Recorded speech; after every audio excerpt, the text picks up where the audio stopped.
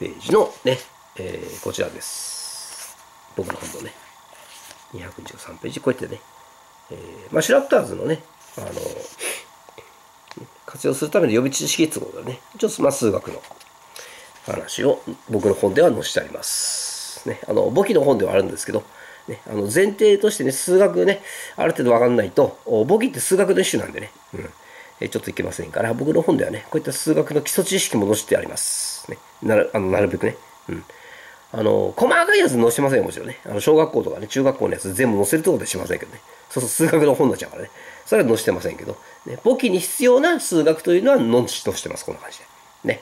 はい、そのうちの一つです。はい。あの、三角形の長さとね、角度の関係っていうちょっとか話と、あとですね、平行四辺形。の角度の高さとの関係っていう話をちょっと知らないと、これ問題解けないんで、その2つをね、ちょっと僕の本を使って喋ってきちゃってます。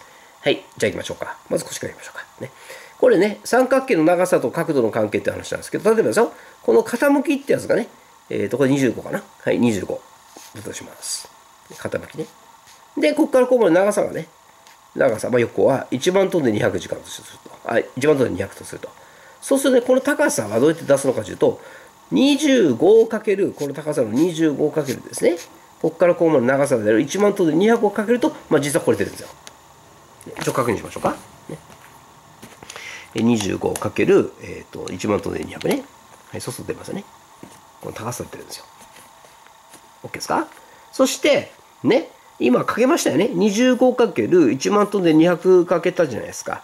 そこの高さ出たでしょ？ってことは逆もできるんですよ。つまり25万5千割ることの、ね、25でやってあげると、ね、今度この長さが出るんですよね。実はね。この長さが出ます。OK ですかね？はい。まあ、というね、あの、対応関係もあります。ね。これがね、まあ、数学の知識ですよ、これはね。これは簿記とかじゃないですかね。数学の知識です。はい。で、次ですね。もう一回あります。はい。これはちょっと計算というよりは、角度の話なんでね、もう図だけでいいと思うんですけど、例えばね、平行四辺形っていうやつがありますね。要するにこのね、平行四辺形っていうのは、このた、例えば長さがね、25万5千だとします。で、こっちも25万5千なんですよ。ね、同じね。これ同じ。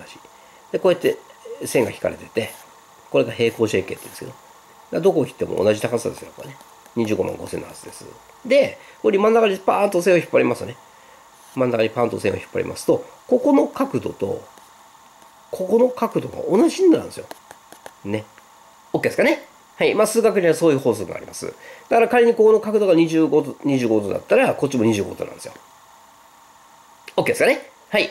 ということがね、えー、まず基礎知識になります。予備知識ね。数学の予備知識です。はい。で、これが分かんないとね、これから知らったぞもちんぷかむになっちゃいますからね。えー、ひとまず、えー、お話をしておきました。ね。あの、数学がね、得意な方はいいんですよ。今の話はするで全然結構なんですけどね。ちょっと数学はね、うん、ちょっとおぼつかないですっていう方ね、えー、ちょっと中学生の時とかね、の数学ちょっとサボサボっちゃいましたっていうね、えー、方ですよね。の方はね、えー、こういったこともね、ちゃんと、あの、ちゃんとしっかりとね、えやんないとね、え解けませんからね。え僕の本ではね、こういうのもしっかりと書いてあります。ね。